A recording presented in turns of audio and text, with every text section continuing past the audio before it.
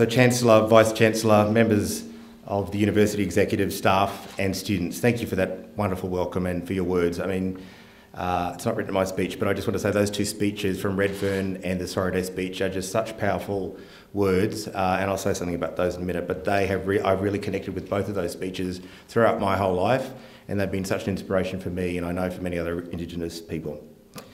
I'd like to begin by acknowledging the traditional owners of Canberra, the Ngunnawal people, on whose land we meet today.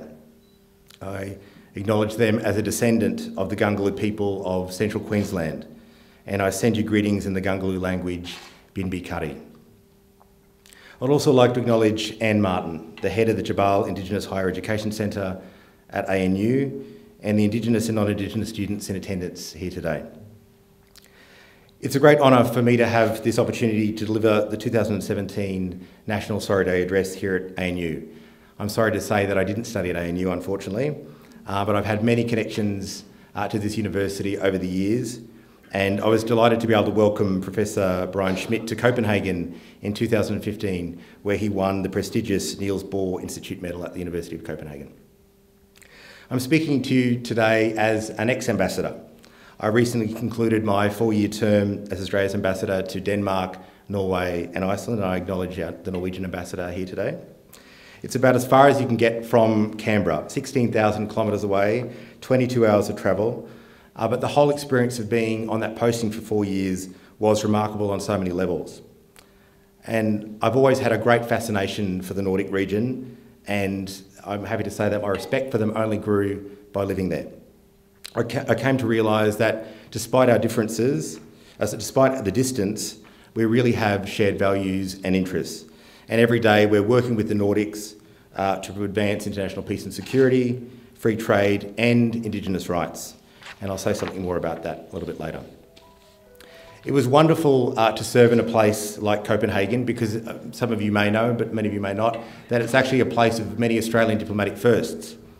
The first woman diplomat to be appointed an Australian ambassador, Ruth Dobson, served in Copenhagen in 1974. And then in 1999, Stephen Brady was the first Australian ambassador to present his same sex partner to a head of state. Uh, so the first Australian and the first ambassador in the world to do that. On the 5th of June, uh, sorry, the 15th of June in 2013, I had the great honour of presenting my little envelope, my credentials to Her Majesty Queen Margrethe of Denmark, and I was the first Indigenous person to do this. So today I wanted to talk about three topics. The first is what Sorry Day means to me. The second is about what the Department of Foreign Affairs and Trade, what DFAT is doing to promote reconciliation in Australia, and also what DFAT and Australia are doing to promote Indigenous rights around the world. As the Chancellor said, uh, today we mark National Sorry Sorry Day.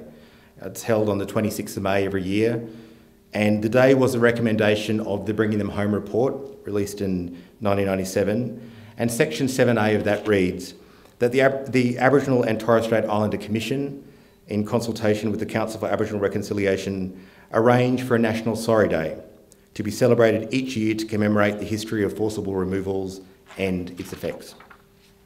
So today we do just that. We remember the forced removal of Aboriginal and Torres Strait Islander people right across Australia from the early 1900s right through to the 1970s. There are Indigenous people in this room uh, who were taken away or who had relatives who were. Almost every Indigenous person has been affected by this policy in some way, and its consequences are still being very deeply felt uh, today as well. I thought I might just start my speech by sharing a little bit of my own family story because we too have been affected by this Protection Act, as so many others uh, have as well. As I said, I'm a proud descendant of the Gungulu people uh, from central Queensland, my family's, my family, my ancestors originated from the fertile Dawson and Clyde valleys, and they lived in this place for thousands of years. We still have a very deep connection to this part of Australia. And as far as we're aware, it wasn't until 1844 that the first Europeans turned up. And it was none other than uh, the German naturalist Ludwig Leichhardt, uh, and my last posting in Berlin, we commemorated his many travels in Australia, which was a bit bittersweet for me because he was the first European to, to arrive uh, on my traditional country. Uh, and he was coming to the Dawson Valley, the Rockhampton area, on his way north. one of his colleagues, one of the other naturalists travelling with him, said that the area was one of the most beautifully, beautifully picturesque and extensive scenes they'd ever witnessed. Leichhardt and the other explorers paved the way for a very rapid European expansion into central uh, and southeast Queensland. During the 1840s, settlers, squatters, and others pushed deeper into the rich pastoral lands around Rockhampton. And by 1845, a little station had been created at Taroom, and then soon after, by 1854, there were pastoral lands and licences right across Gungaloo country. So it meant in a very short period of time, what had been traditional Gungaloo land for thousands of years uh, belonged to someone else, without the knowledge, let alone the consent of the traditional owners. And over the next 50 years, the expansion of this frontier society was to have a profound and everlasting effect of, on the people of central Queensland, and in particular for my family, the Gungaloo. There was initially some positive interactions and negotiations, but over time, whole Indigenous communities were devastated by violence, epidemics, and the forced movement of people. My great grandmother, Sarah, Sarah Toby, was born in a place that is sacred to the Gungaloo. It's a little place with a strange name. The place where my family, our, one of our most sacred places, is a place called Banana, which doesn't sound very sacred and inspiring, but it is actually called Banana. And that has, that's the sort of, we consider the birthplace of the Gungaloo people. She was born between 1876 and 1884, and we don't have a precise birth date for her, but I actually do have, our family has some photos of her thanks to the work of, an, of a South Australian anthropologist, Norman Tindale, who did a lot of work in that region much later. But I have a picture of my great grandmother and a family tree uh, going up to the 1850s, uh, which is a wonderful thing for my family to have.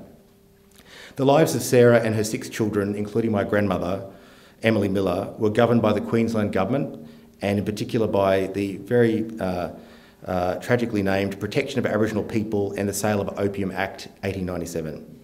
And the course of my family's lives was determined by their race and by the actual colour of their skin as well. It's unclear, we don't know the exact kind of precise date, but my great grandmother, Sarah Toby, was taken from her traditional lands to one station in Taroom she was then moved uh, in 1926 to Woorabinda, which is a place where many uh, Aboriginal people in Queensland have connections to. And she was moved again uh, to a place called Barambah Mission in Cherbourg, another place where a lot of Queensland Aboriginal people have connections. And inside this settlement, the government and church authorities controlled nearly every aspect of the lives of the inhabitants what they ate, what they wore, where they could go, who they could meet, what language they could speak, what religion they practiced. So my great grandmother and my great aunt lived in this place. They lived in the women's dormitory. Um, and those who broke the rules, including them, could be denied rations. They could be locked up or sent away to Palm Island or one of the other reservations. My great grandmother and many other of my family members lived their whole lives in this place. My grandmother, Emily Miller, was born in 1909, and she had three siblings who were all uh, what we would consider mixed race. They had lighter skin. And because of that, the policy, the way the Protection Act affected them was quite different. They were from a very early age sent off to work in stations across rural Queensland. So at the age of eight, my grandmother was sent with her siblings to work at a particular station in Queensland, and the reports from the government authorities at the time record her the harsh treatment she received at a number of these stations, and because of that, she had to keep, she had to be moved around many times. From the age of 8 to 21, she lived under this system where she was constantly moved with no control over her own life. She was given basic rations, board, we think a limited wage, but we don't actually know for certain whether she did receive a wage. My grandmother applied to the, the Chief Protector of Aborigines in Queensland in the year 1931. She was 22 years of age. And she, was, she asked to be exempt from this system of being moved around from the Protection Act. It was granted to her, but the consequences of that exemption were that she was no longer to associate with Aboriginal people, she was no longer to associate with her family, uh, and for many years she had no connection to them.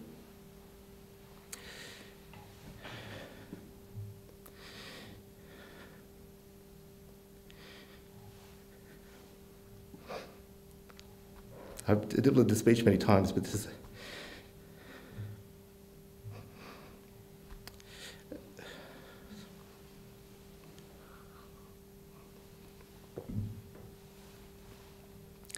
As time went on and laws and attitudes changed, she did reconnect with her mother. and sisters and brothers spread across the state of Queensland. Despite the trials she faced, uh, my grandmother was a proud and resilient woman. She raised two sons, including my father, and she wasn't able to pass on her language or the stories of our ancestors. And sadly, after a life of hard work, she died of a heart attack at the age of 61 and, and never had the opportunity to ask. So I never had the opportunity to ask her firsthand about her experiences. I don't know whether she would have wanted to talk about it or not. The bits of this story that I've been able to piece together have come from my father and other family members and the extensive government records that were held. My family's experience was on my mind on the 13th of February 2008, the day that Kevin Rudd delivered that amazing national apology. I was working in Parliament House at the time, and through the kindness of one of my colleagues, I was given a seat in the chamber to hear the apology. And I remember the electricity in the air that day and seeing, my, uh, seeing many friends at Parliament House for the event. And uh, to repeat the words um, that Professor Evans has, has, I'll say them again. For the pain, the suffering, and the, the hurt of these stolen generations, their descendants, and for their families left behind, we are sorry. To the authors and fathers, the brothers and the sisters, for the breaking up of families and communities, we are sorry. And for the indignity and degradation thus inflicted on a proud people and a proud culture, we are sorry. These words affect me and many of us very deeply. But to hear the words, we are sorry, not once but three times, was electrifying. Of course, words are not, alone, not enough to heal the heartbreak of separated families and address the disadvantage experienced by so many Indigenous Australians. But these words still have great power. On this day, we reflect on the pain, but we also celebrate the survival and the resilience of Indigenous Australia. The apology resonated not only in Australia but across the whole world. And over the past four years, I have met many Indigenous people across the Nordic region. I've met with representatives from the government and parliament with the Inuit people in Greenland. I've been to the very north of Norway to a place called Karasjok, to the home of the Sami parliament. I had to trudge through knee-high snow and it was pitch black in the middle of winter. But it was wonderful to go and visit these places and the one thing that they always mentioned was the national apology because that apology had power for them too. I also spoke to them about reconciliation movement, the national conversation it started, its wide support and its practical elements. These, the national apology and the reconciliation statement, were re revelations to many Indigenous people I met in Europe and something that they wanted their governments to also embrace. I'm going to shift gear a little bit now and start talking about where I work at DFAT, and I know uh, it's, uh, I think that it's very relevant to our, your Chancellor, who was my minister for a short time when I joined the department, but I'll say something about that in a moment. But DFAT was an organisation that wasn't even in the lexicon of my family. There is nobody in my family who had any dealings with DFAT at all. They didn't even know what DFAT was. And my interest in all things uh, foreign came from my father, uh, David Miller. He was always uh, very interested in the world around him he had a deep fascination, still has a deep fascination for other cultures, and and through him I sort of developed this appreciation as well. And I always dreamt of being able to live and work overseas. Uh, in primary school, I visited a, visited a careers fair in Brisbane in the 1980s, and I picked up a little brochure in a lovely kind of shade of 1980s brown. And it was from the Department of Foreign Affairs and Trade, and it said, Our mission as an organisation is to win a place for Australia in the world. And I didn't know what that meant, but I thought it sounded like a great thing to be involved in, and to be able to live and work overseas was very appealing. So I moved from Brisbane to Sydney in 1994 to start an arts law course at UNSW, and it was there that I met the remarkable Anne Martin, who was at the time the head of the Indigenous Student Centre at UNSW. She was an inspiration to all of us, funny, wise, and determined to help us succeed. With her encouragement, I applied for an Indigenous cadetship at DFAT, and I was successful in joining the department in 1995. And the program allowed me to study during the university year at UNSW and then come to Canberra every summer for a break. So when I joined, uh, the then Foreign Minister was the Honourable and now Professor Honourable Gareth Evans. A lot's happened in the department since the 1990s. Um, and I'm very proud, as many of the other Indigenous staff at DFAT, I'm very proud to have had this association with this department. When I joined, there were only a handful of Indigenous staff. There were no senior leaders, uh, no ambassadors, uh, but now I'm very proud to say that we have over 80 Indigenous staff in DFAT, serving with distinction in Canberra, in our state and passport offices and overseas. We are actively helping to shape Australian foreign policy. We're advocating it here and abroad. We have colleagues working at the United Nations in New York, contributing policy advice, advice on complex free trade agreements, delivering aid in the region, region and providing consular support to Australians all around the world. In my experience, many other governments do pay, take, take note of the fact that we have so many Indigenous staff working in our foreign ministry, and also that we have such a multicultural, diverse workforce as well. The Department, in partnership with Indigenous staff, has developed an Indigenous recruitment and career development strategy. It is helping to attract some of the best and brightest Indigenous staff, Indigenous talent, and ensure that they stay with us over the long haul. Through our Reconciliation Action Plan, we're striving to have 3% of our staff in DFAT Indigenous, and we're on track to reaching that target. I think what's important with these policies, reconciliation action plans and things is that they're not just documents that sit on shelves. We don't just want to have them and dust them off and update them when we need to update them. They need to be living, breathing documents. And I'm very happy to say that in DFAT's case, it is our reconciliation plan, our targets and strategies to increase our Indigenous representation are living documents. And it's very clear that many areas of DFAT want to get involved and it, uh, have Indigenous staff working uh, across the department in all kinds of areas. Uh, and I think we can all take pride, all of us here, take pride in the steps that DFAT and the Australian Government have taken over many years to, to increase our Indigenous representation. I think one of the things that's been very inspiring to me and DFAT leadership management as well is the growth of something called the Indigenous Employees Network. So with 80 of us, it means that we're able to kind of work very closely with DFAT's management to guide departmental policy on Indigenous issues. We also try to mark all the significant dates, uh, Indigenous dates, uh, in our calendar. So we mark Sorry Day and National Reconciliation Week and NAIDOC Week. And of course, this year we celebrate two very big uh, events uh, the 50th anniversary of the 1967 referendum, as well as the 25th anniversary of the Mabo decision. Two watershed moments in Australian history. NAIDOC Week is important to Wilson. We have our national chair, Anne Martin, here, uh, who's in charge of, of NAIDOC celebrations in Australia.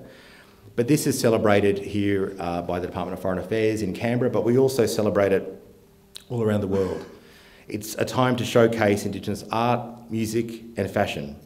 And Australian embassies uh, put on amazing NAIDOC weeks all around the world. I think we take great pride in celebrating not only the fact that Australia has the oldest living culture, continuous living culture in the world. That's something we should all be proud of as Australians, not just Indigenous Australians.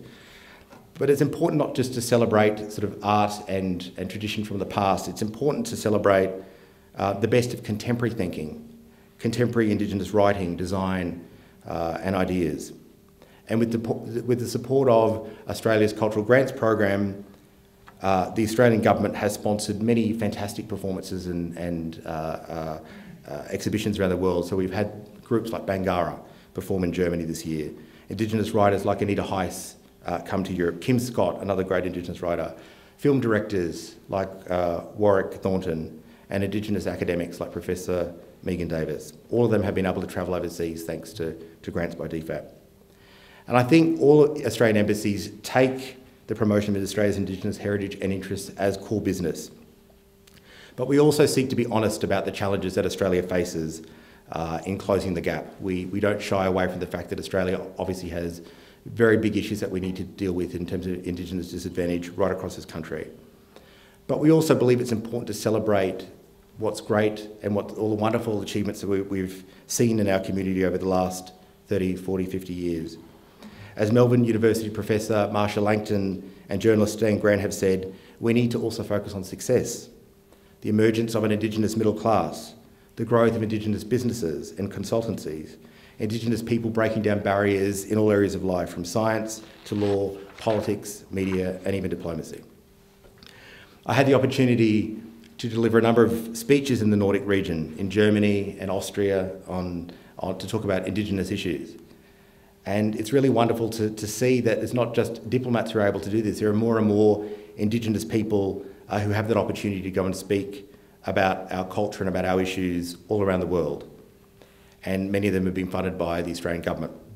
So every year we have a delegation, an Indigenous delegation, that goes to the UN in New York to attend the Permanent Forum on Indigenous Peoples.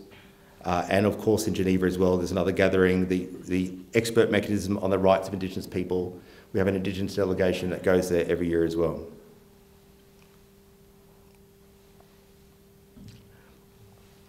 Indigenous people only make up about 5% of the global population.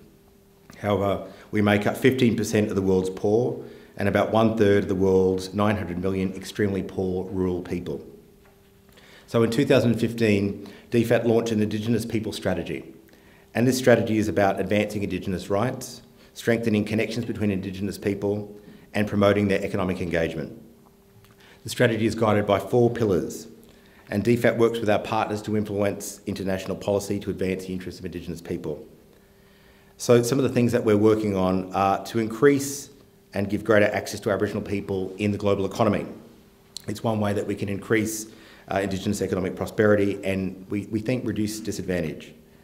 Our portfolio is helping to meet the needs of those who want to have who have Indigenous businesses and want to export and take their businesses overseas. DFAT has worked to secure agreement from the UN expert mechanism on the rights of Indigenous people to undertake a global study on barriers to Indigenous economic development, particularly for Indigenous women and people with disability.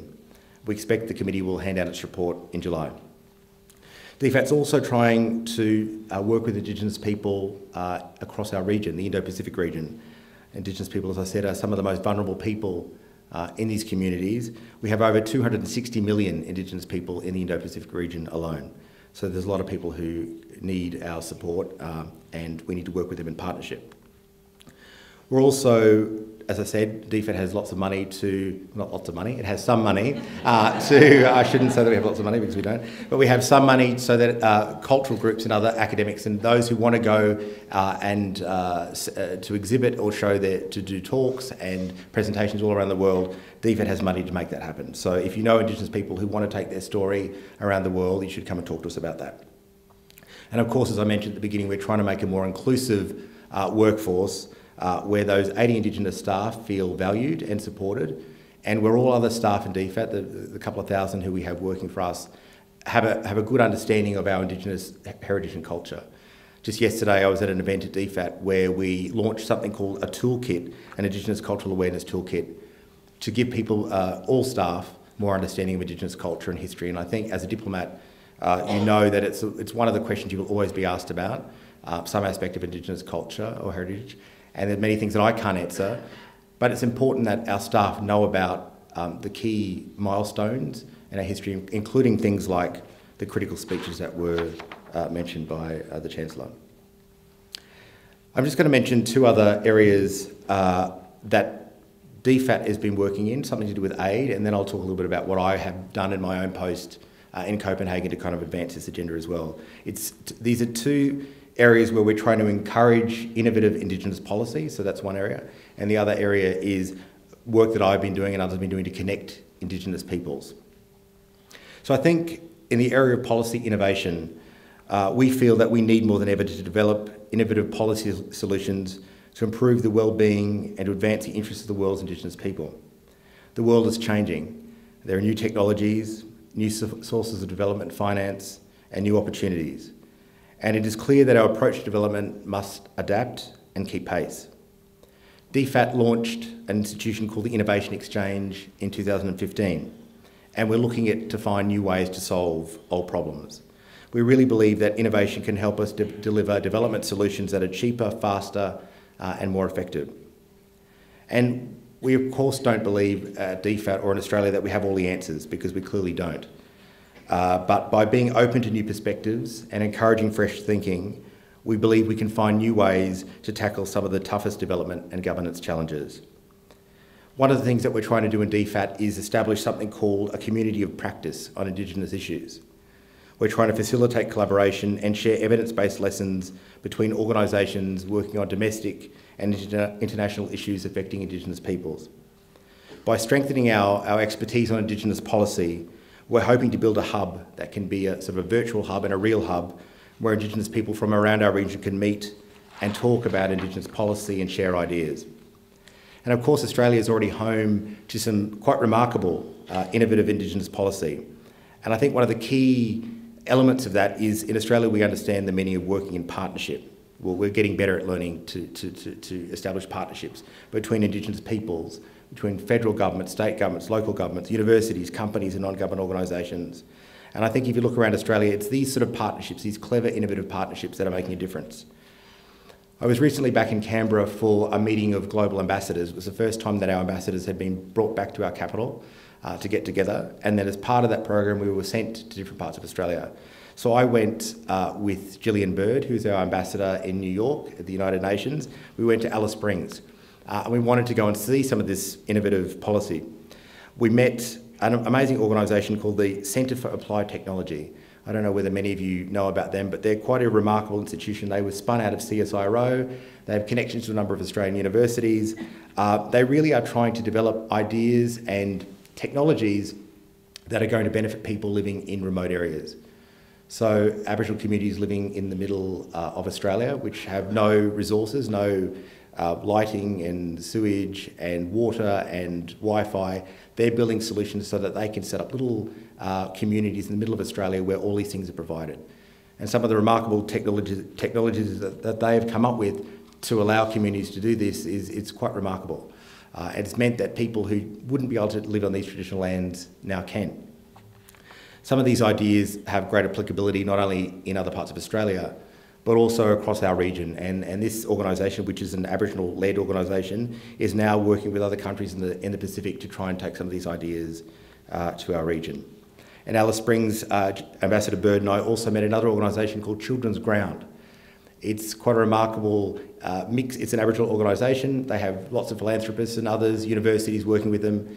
The idea is to uh, mix sort of Western education and traditional uh, Indigenous education to, for, for, the, for young children in the communities.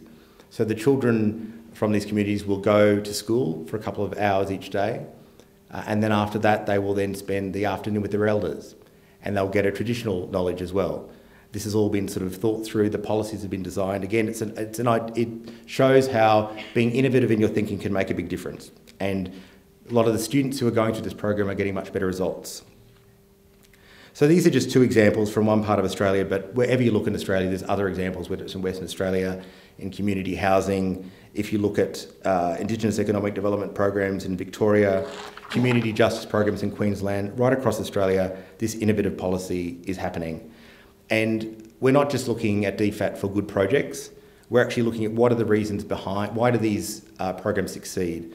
And I think there's no magic formula, but the two key ingredients for any of these uh, ideas is that they're based on self-determination, so communities deciding for themselves, and also uh, the protect, protection, respect for their human rights. So if you have these two ingredients, and Indigenous people are at the sort of in the driving seat, it makes a big difference.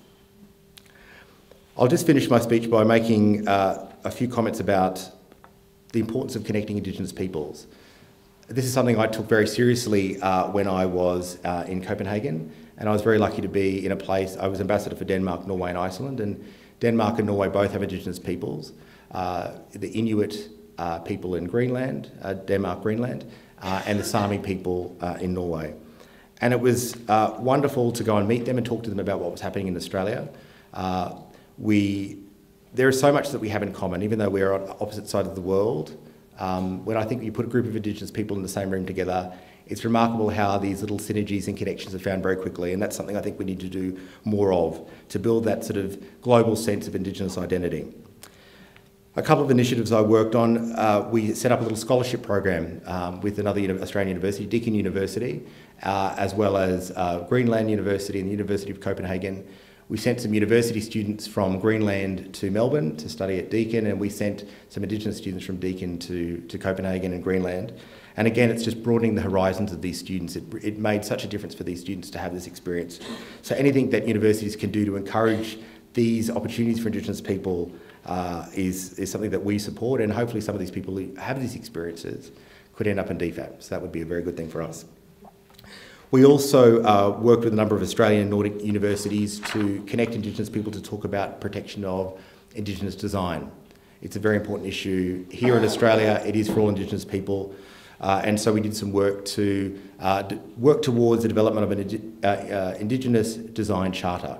We have one in Australia already, but the idea was to try and build momentum for, for this uh, in other parts of the world, and so we held a series of consultations on that. And finally, uh, I think in Denmark and Norway, I had lots of very useful conversations about the extractive industries, so mining companies and mining industries. Uh, I think uh, these issues related to Indigenous people and land rights and the role of mining companies uh, is very relevant uh, in Australia, and we have a lot of expertise in this.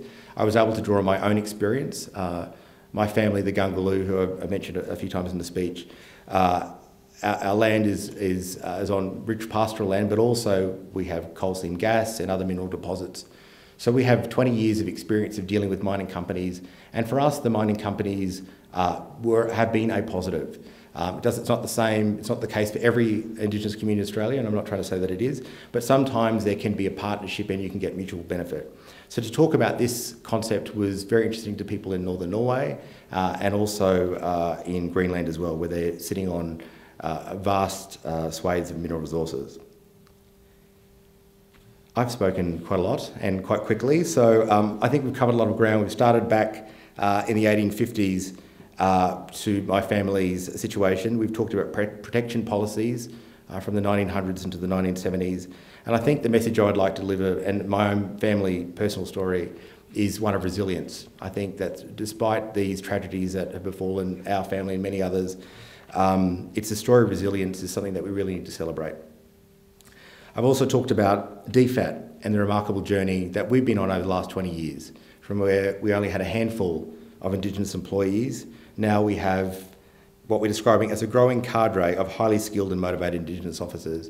And I've got to say, it's remarkable to meet these young DFAT officers who are starting off in our department and going off into senior roles overseas as well.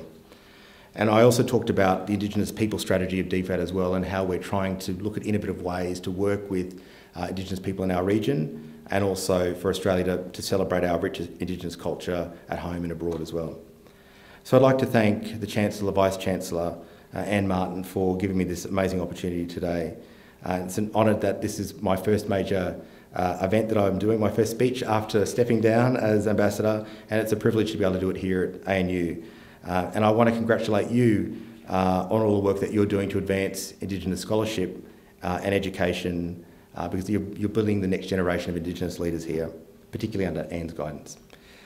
But I look forward to uh, continuing my close association with ANU and perhaps even one day I might return as a student. Thank you.